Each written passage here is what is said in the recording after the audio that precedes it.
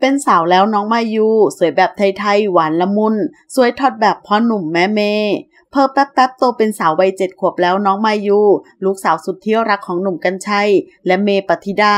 แถมนับวันยิ่งโตก็ยิ่งสวย ทอดแบบพ่อแม่มาแบบเป๊ะ ไม่แปลกใจเลยที่ป้าป่านุ่มจะห่วงลูกสาวหนักมาก ล่าสุดแม่เมย์ก็ได้เผยภาพโมเมนต์แม่ลูก ไปลอยกระทงกันอบอุ่นเรียบง่าย ปีนี้สุดพิเศษ สาวน้อยมายูมาในลุคชุดไทยสุดงามสง่า สวยออร่าตั้งแต่เด็ก โดยแม่เมย์ระบุว่า เดี๋ยวนี้ทำตัวน่ารัก มีกรีดกรีดบ้างบางจังหวะถ่ายกับสาวน้อยนางนพมาศวันลอยกระทง